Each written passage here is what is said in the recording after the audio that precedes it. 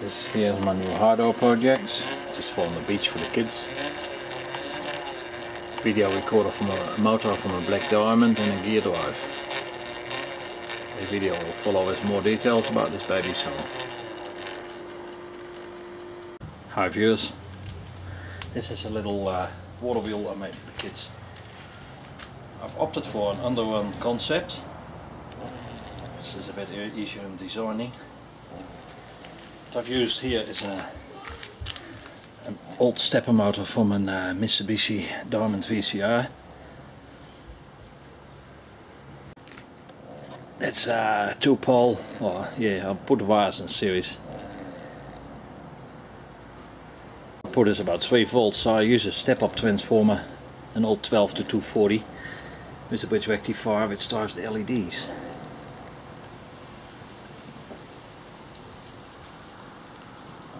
Gears come from an old uh, commercial copier.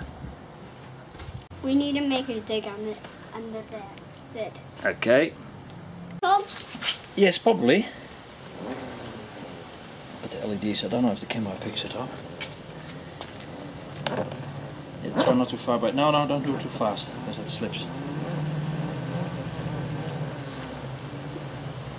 Okay, you tell we me. need to like drop it down, and that Yeah. needs to be on the sand, That's right. so it has to go down.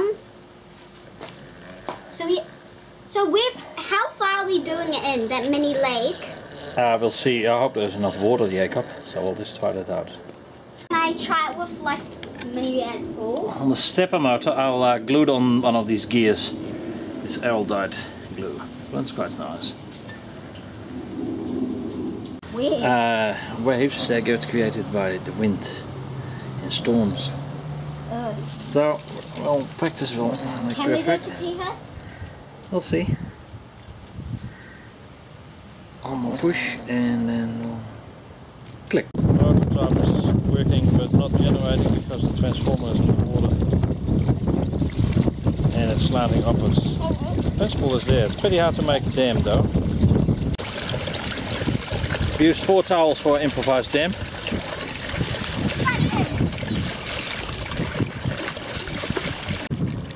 We created a vortex. Even the hydro plant was drowned.